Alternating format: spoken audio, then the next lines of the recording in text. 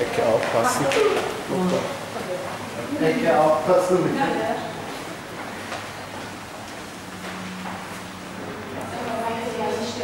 Hier haben wir den Hammam. Ja, schön.